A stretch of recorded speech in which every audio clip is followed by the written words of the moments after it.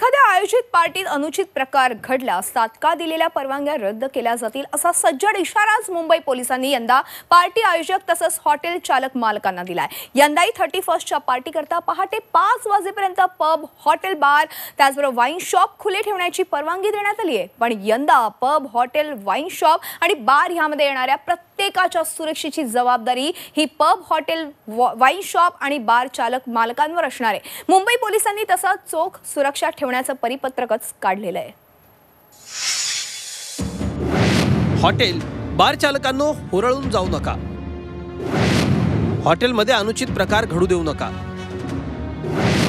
अनुचित प्रकार घडल्यास सर्व परवानग्या रद्द होतील. आपल्याकडे जास्तीत जास्त ग्राहक आकर्षित कसे होतील याकरता हॉटेल पब बार चालक विशेष तयारी करतायत. त्यातच पहाटे पाच वाजेपर्यंत हॉटेल बार पब सुरू ठेवण्याची परवानगी मिळाली. त्यामुळं कोणताही अनुचित प्रकार घडू नये म्हणून मुंबई पोलिसांनी हॉटेल बार पब चालकांना नोटीस पाठवली त्यानुसार काही अनुचित प्रकार हॉटेलमध्ये घडला तर हॉटेलशी संबंधित सर्व परवानग्या रद्द होतील. पब हॉटेल बारमध्ये गाणी वाजवायला परवानगी असेल पण ध्वनी प्रदूषण झाल्यास कठोर कारवाई होईल. कायदा सुव्यवस्थेचा प्रश्न निर्माण झाल्यास पोलीस वेळेची परवानगी काढू शकतात. महिलांच्या सुरक्षेची जबाबदारी हॉटेल पब आणि बार चालकांनाच घ्यावी लागेल. पार्किंगच्या भागात सीसीटीव्ही लावणं अनिवार्य असेल.